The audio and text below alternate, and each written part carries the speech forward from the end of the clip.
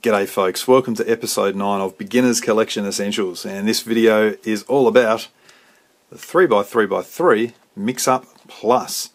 Now I want to talk about the Mix-Up Cube, the 3x3x3 Mix-Up Cube. That one was invented and patented in 19... when? You're all going to think like 2000 and something. No, 1985 by a man called Sergei Makarov. You've never heard of that name, neither had I till I researched this. Mr. Makarov made it as a one-of-a-kind puzzle and it was never ever mass-produced, but he did patent it. And what happened is in 2009, he actually called it the Makarov puzzle or the Hedgehog Cube. In 2009, Oscar van Deventer made a Shapeways version. He had no idea that Mr. Makarov's version existed. And so he made his Shapeways version, and then in 2013, WitEden ended up uh, mass producing the Mix Up Cube. So remember, not talking about this one, talking about its baby brother, the Mix Up Cube. So that was 2013. Now the Mix Up Plus was actually invented, so now I am talking about this one. It was actually invented by a man called Yu Yu Chun. Now I'm assuming that Mr. Chun is also Mr. WitEden, or else some associate of Mr. WitEden. I don't know. But this is the Mix Up Plus. Now the plus here refers to the split edges. On the mix-up cube, these edges are not split into three bits. They're just one solid piece. Still with two colours, but there's no split. So that's the difference between the mix-up cube and the mix-up plus cube. Why is it called the mix-up cube in either version? Well, it's called the mix-up cube because it mixes up the centre pieces and the edge pieces. For example, here's an edge piece on this thing. I can actually kind of turn the center there and I can put this edge in here and if I now turn that you can see oh boy that's gone a bit crazy.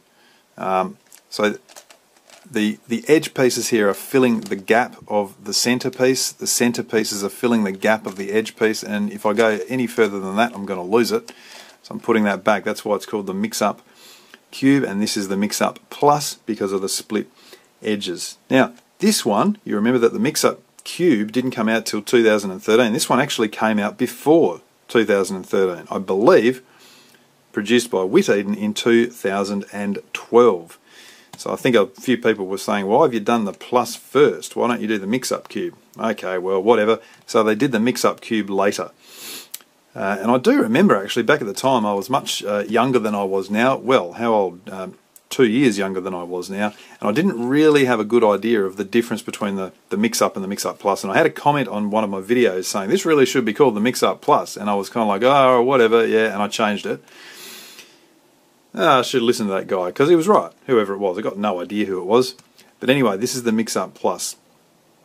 Okay, so the, the plus, the split edges add a complexity to the Mix Up Cube, and that's why I've included the Mix Up Plus as part of this collection, as part of it's a different kind of cube. It's the, the first kind in this series where we've been able to exchange um, sort of different piece types, centers with edges and that sort of thing. And I think this is much more interesting, having the split edges. It enables us to do stuff. What about the turning? Well, you can still turn this. It's beautiful turning, really, really smooth. No problem with the turning at all. You can still solve it as a 3x3. So that, I guess, is the general idea, to reduce the cube to a 3x3 cube, and then that's they're the edges, and you've got your corners, and Robert's your father's brother. That's how it works. What kind of moves can we do here? Well, let's have a look. One type of move we could do would be something like this. We could turn that middle layer. In fact, I'll try and do it with a, a lighter colour than that, if that's going to work. Turn that middle layer, that's better. I've got that lined up. We can do front two and bring down that middle layer. Return the front two return that middle layer and put that one back. What have we done? Hmm, well, we've got the three edges here which have cycled and we've got a flipped edge. And so that shows that it is possible on this sort of cube to get a flipped edge, a single flipped edge, which is a pretty weird thing. Let me see if I can put that one back. Who knows whether I can or not. We'll give it a go. Oh, look at this. Proclaim it. I'm a genius. Okay, what else can we do? Well, this is one of my favourite things to do. You know that the corner piece series normally is an upturn and a right away, an up anti-clockwise, left away. If you don't know that, you haven't been watching my videos for very long. Okay, and what the corner piece series will do, will cycle three corners. One, two, three, count them. That's all it does. Let me just undo them for a minute. Um, now, let's do the corner piece series on this thing, but instead of turning the upper face, I'm going to turn the middle slice. So I'm calling that my upper face. Then a right away, then that, then a left away, continue. Okay, what's happened? That has gone crazy. That's come from there and that's gone crazy. So we have actually got a three cycle of these little edge bits and we've got two of them that are reversed. They're flipped kind of in their place. I think that's completely bizarre. So that is the uh, Mix Up Plus. Now I know, I might just undo that for a minute if I can.